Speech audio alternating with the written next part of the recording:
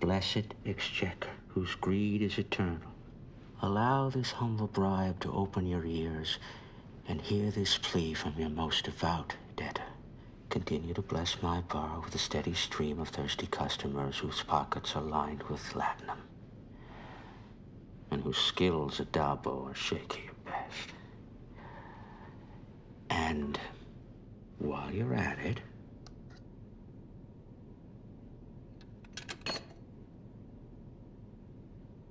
see if you can do something about Dr. Bashir. Mm, Don't hurt him or anything. Just get him off the station for a couple of months. Oh.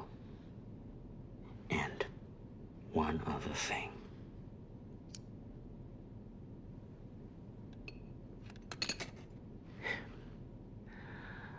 I opened negotiations with Ezri three months ago, but I can't seem to close the deal.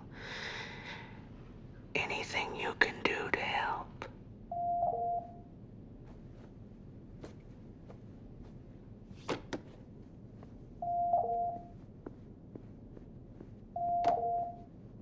Come in. Ezri.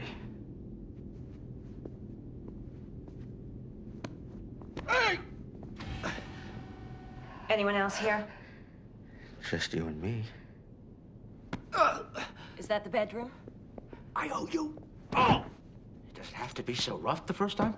I don't know what you think is going on here, but think again. Don't tell me. Um, this is some new kind of therapy? Am I supposed to start talking about my childhood or something? I hope not. Good. Because I'd rather talk about us. Dax. Dax, you're the most fascinating woman I've ever met. I love you. There. I said it. My name's not Dax. Oh, I, I get it. Uh, your clothes, the knife, this aggressive attitude, it's all role playing. Uh, call me Schmun.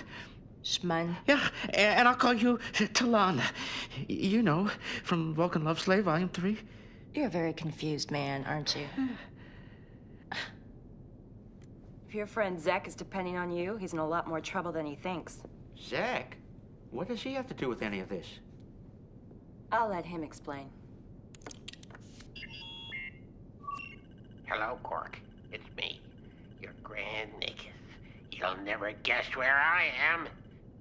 Uh, Risa? You said Risa, guess again. I'm in the alternate universe. You're probably wondering how I You're not my Dax. You're from over there.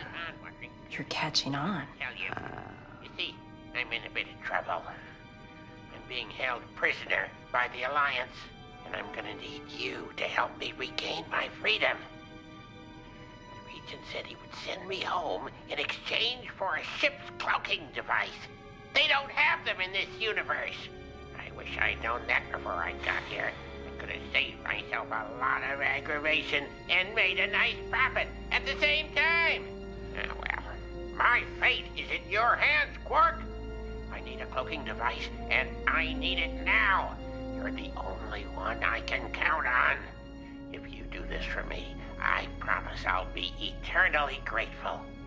And don't forget to tell your mother I love her. Goodbye. He should have gone to Risa. The Regent wants the cloaking device in three days. That's not much time. Cloaking technology isn't that easy to come by. You'll find a way. And if I don't? The Nagus will die. Oh.